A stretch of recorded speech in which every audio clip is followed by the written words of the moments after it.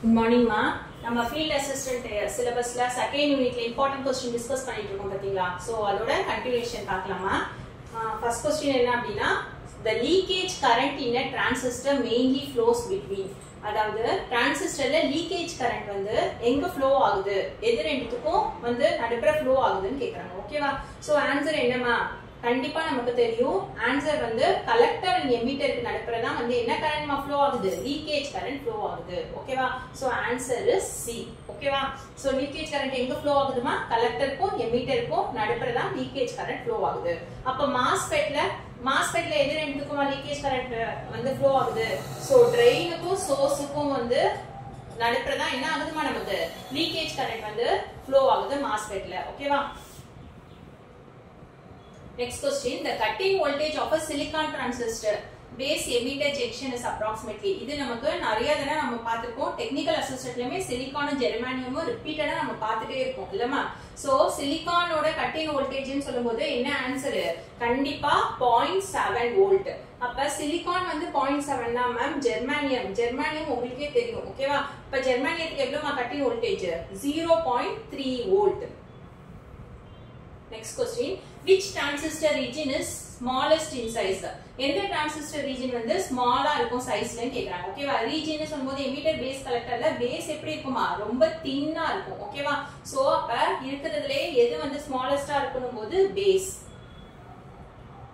next in digital logic circuits a transistor mostly operates as என்னமா சொல்றாங்க? ஒரு digital logic சர்க்கியூட்ல transistor வந்து நம்ம எதுக்கு யூஸ் பண்ணுவோம்? டிஜிட்டல்னாலே கண்டிப்பா என்னமா டிரான்சிஸ்டர் எதுக்கு யூஸ் பண்ணுவோம்? லாஜிக் சர்க்கியூட்ல கண்டிப்பா ஸ்விட்ச் ஆன ஆன் ஆஃப் கண்டிஷனுக்கு தான் நம்ம யூஸ் பண்ணுவோம். நெக்ஸ்ட் இப்ப டிஜிட்டல் பார்த்துட்டோம். அப்ப அடுத்தது அனலாக் சர்க்கியூட்ஸ்ல டிரான்சிஸ்டர் எதுக்கு யூஸ் ஆகுது அப்படின்னா அனலாக்ல எதுக்குமா டிரான்சிஸ்டர் யூஸ் ஆகுது? டிஜிட்டல்ல ஸ்விட்சா அதே வந்து அனலாக்ல டிரான்சிஸ்டர் வச்சு நம்ம என்ன பண்ண போறோம்? ஆம்பிளிஃபையரா யூஸ் பண்றோம். Next question a transistor amplifier ஒரு டிரான்சிஸ்டர் ஆம்பிளிஃபையர் எதெல்லாம் இன்க்ரீஸ் பண்ணி கொடுக்குது அப்படின்னு கேட்குறாங்க ஓகேவா ஸோ நமக்கு நம்ம கொடுக்குற வீக் நம்ம கொடுக்குற சிக்னலை என்ன பண்ணி கொடுக்கும்? ஆம்பிளிஃபையர் போது அப்படியே வீக் சிக்னலை என்ஹான்ஸ் பண்ணி அதோட ஸ்ட்ரென்த்தை வந்து அதிகமாக்கி கொடுக்க போகுது. ஸோ அப்போ கண்டிப்பா என்னெல்லாம் இன்க்ரீஸ் பண்ணி கொடுக்குமா? வோல்டேஜ் கரண்ட் பவர் எல்லாத்தையும் இன்க்ரீஸ் பண்ணி கொடுக்கும். ஓகேவா P is equal to P is nothing but V A P is equal to V A அப்போ வோல்டேஜ் கரண்ட் பவர் எல்லாமே வந்து நமக்கு டிரான்சிஸ்டர் ஆம்பிளிஃபை இன்க்ரீஸ் பண்ணி கொடுக்கும்.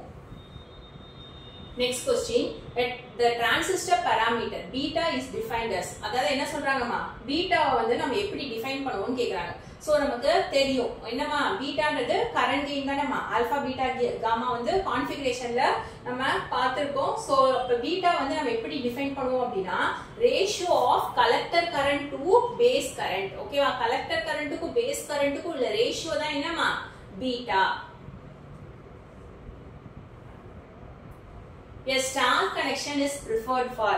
Star connection எதுக்கு வந்து ப்ரிஃபர் பண்ணுவாங்கன்னு கேக்குறாங்க. ஓகேவா ஸ்டார் கனெக்ஷன் எதுக்குமா ப்ரிஃபர் பண்ணுவாங்க? எப்போதுமே ஸ்டார் கனெக்ஷன்ன்றது நம்ம எதுக்கு ப்ரிஃபர் பண்ணுவோம் அப்படின்னா கண்டிப்பா நம்ம ஸ்டார் டெல்டா கனெக்ஷன் நமக்கு தெரியணுமா? ஓகேவா சோ அப்ப ஸ்டார் கனெக்ஷன்ன்றது நம்ம எதுக்கு ப்ரிஃபர் பண்ணுவோம் அப்படின்னா லோ கரண்ட்டுக்கும் ஹை வோல்டேஜுக்கும் நம்ம ப்ரிஃபர் பண்ணுவோம்.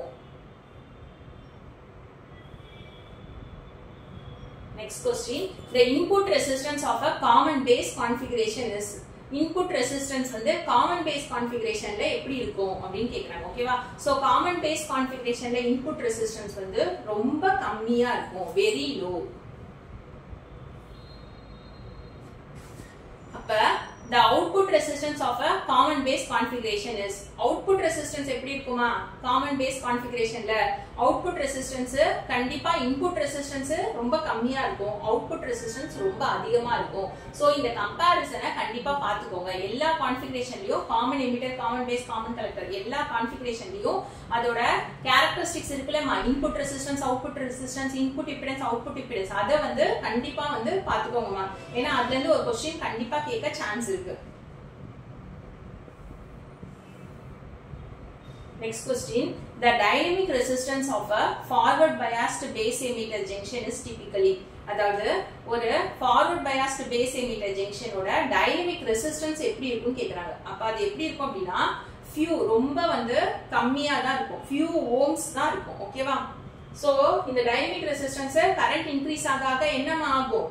நமக்கு ஃபார்வர்ட் கரண்ட் இன்க்ரீஸ் ஆக ஆக டைனமிக் ரெசிஸ்டன்ஸ் அப்படியே என்ன ஆகுமா? குறையும்.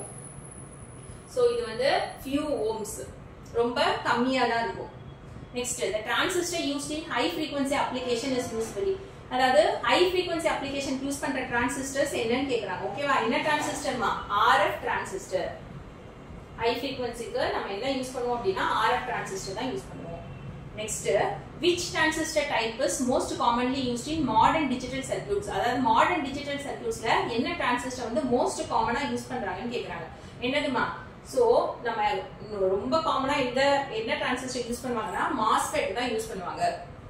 ஏன் மாஸ்பெட்டை யூஸ் பண்றோம் அப்படின்னா இதோட ஸ்விட்சிங் ஸ்பீட் இருக்கு பாத்தீங்களாமா ரொம்ப ஃபாஸ்டா இருக்கும். ஓகேவா ஸோ மாஸ்பெட்டுக்கு ஸ்விட்சிங் ஸ்பீட் வந்து ரொம்ப ஃபாஸ்ட் நெக்ஸ்ட் பவர் கன்சப்ஷன் வந்து ரொம்ப கம்மி. ஓகேவா அதுக்கப்புறம் இன்புட் இம்பிடன்ஸ் வந்து ஹைமா ஓகேவா சோ இந்த ஃபேக்டர்ஸ் எல்லாம் கன்சிடர் பண்ணி தான் நம்ம என்ன பண்றோம் அப்படின்னா மாஸ்பெட்டை தான் வந்து மோஸ்ட் காமனா யூஸ் பண்றோம். ஸ்விட்சிங் ஸ்பீட் ரொம்ப ஃபாஸ்டா இருக்கனால பவர் கன்சப்ஷன் கம்மியா இருக்கனால இன்புட் இம்பிடன்ஸ் அதிகமா இருக்கு. Next the main advantage of MOSFET over BJT is அப்ப மாஸ்பெட்டோட அட்வான்டேஜ் என்ன? பிஜேபி எவிடன்னு கேக்குறாங்க. ஓகேவா சோ நம்ம மாஸ்பெட்டுக்கு என்னமா இருக்கும்? இன்புட் இம்பிடன்ஸ் ரொம்ப அதிகமா இருக்கும். High input impedance next question a transistor oscillator circuit generates. ஒரு டிரான்சிஸ்டர் ஆசிலேட்டர் வந்து என்னது வந்து ஜென்ரேட் பண்ணணும் ஆசிலேட்டர் நமக்கே தெரியும். ஆப்வியஸா என்ன ஜென்ரேட் பண்ணும்? ஏசி வேவ் ஃபார்ம் தான் நமக்கு என்ன பண்ண போகுது? டிரான்சிஸ்டர் ஆசிலேட்டர் நம்ம ஆசிலேட்டர்னும் போது என்னது? நமக்கு அவுட்புட் வந்து ஆசிலேட்டர்னா சைனசாய்டலும் கிடைக்கும் நான் சைனசாய்டலும் கிடைக்கும் ஒரு டிரான்சிஸ்டர் ஆசிலேட்டர் சர்க்யூட் வந்து என்ன ஜென்ரேட் பண்ணும் அப்படின்னா நமக்கு என்ன வேவ் ஃபார்ம் ஜென்ரேட் பண்ணும்? ஏசி வேவ் ஃபார்ம் ஜென்ரேட் பண்ணும்.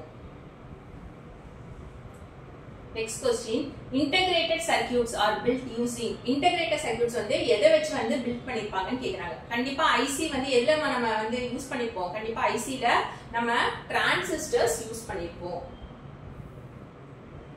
the unit of electric charge electric charge ஒரு யூனிட் என்னமா coulomb. Which transistor configuration gives unity voltage gain voltage gain இருக்கு பாத்தீங்களா எந்த டிரான்சிஸ்டர் கான்ஃபிகரேஷன் வந்து அதோட வோல்டேஜ் கெயின் வந்து என்னமா நியர் டு யூனிட்டியா இருக்கு. அதாவது ஒன்னுக்கு நியரா எதுக்கு எந்த டிரான்சிஸ்டர் கான்ஃபிகரேஷனோட வோல்டேஜ் கெயின் இருக்கு? இது ரொம்ப இம்பார்ட்டன்ட் கொஸ்டின்மா ஓகேவா சோ எந்த transistor configuration voltage gain near to யூனிட்டியா இருக்கு? ஒன்னுக்கு வந்து நியர்பை இருக்கு அப்படின்னா காமன் கலெக்டர் தான். ஓகேவா இந்த இடத்துல காமன் கலெக்டருக்கு வேற என்னென்ன பேருன்னு தெரியணும். ஓகேவா என்னமா எமீட்டர் ஃபாலோவர்னு சொல்லலாம். நெக்ஸ்ட் என்ன சொல்லலாமா? வோல்டேஜ் ஃபாலோவர்னு சொல்லலாம் ஓகேவா சோ காமன் கலெக்டருக்கு மட்டும்தான் என்ன இருக்கும்? வோல்டேஜ் வந்து நியர் டு யூனிட்டியா இருக்கும்.